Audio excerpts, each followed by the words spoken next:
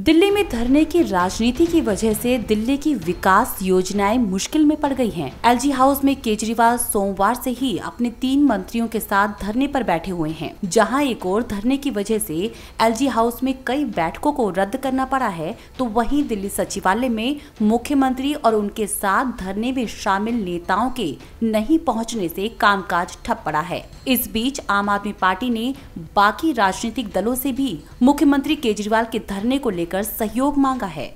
महामहिम राष्ट्रपति से भी दिल्ली के सभी विधायकों, पंजाब के सभी विधायकों, लोकसभा और राज्यसभा के आम आदमी पार्टी के सभी सांसदों से मिलने के लिए महामहिम राष्ट्रपति से भी समय मांगा है। मेरी संबंध में सीपीएम के नेताओं से सीपीआई के नेताओं से, समाजवादी पार्टी के नेताओं से राष्ट्रीय जनता दल के नेताओं से जनता दल सेकुलर के नेताओं से आरएलडी के नेता जयंत चौधरी जी से सबसे बात हुई है और सबने भरोसा दिया है समर्थन का।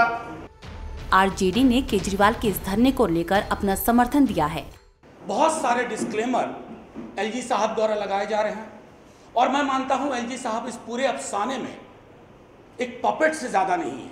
इसकी डोर कहीं और है पर आप सब वाकिफ हैं कि उस डोर को कौन तय कर रहा है। सीधे तौर पर मोदी जी अमित शाह जी और उनके बाकी ढाई लोगों की टीम ने यह तय कर लिया है कि दिल्ली को उसके सरोकार से काम करने वाली सरकार को महरूम किया जाए।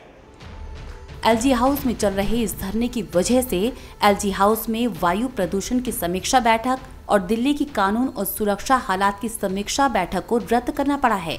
साथ ही अधिकारियों के साथ उपराज्यपाल की मुलाकात भी मुश्किल हो गई है। तो वहीं दिल्ली सचिवालय में बीजेपी नेताओं के साथ आपके बागी विधायक कपिल मिश्रा ने डेरा डाला हुआ है। दिल्ली सचिवालय और एलजी हाउस में चल रहे इन धरनों की वजह से विकास योजनाओं का अधर में लटकना लाजमी है। दिल्ली से कमल कंसल के साथ आरती पांडे, नवोदय टाइम्स।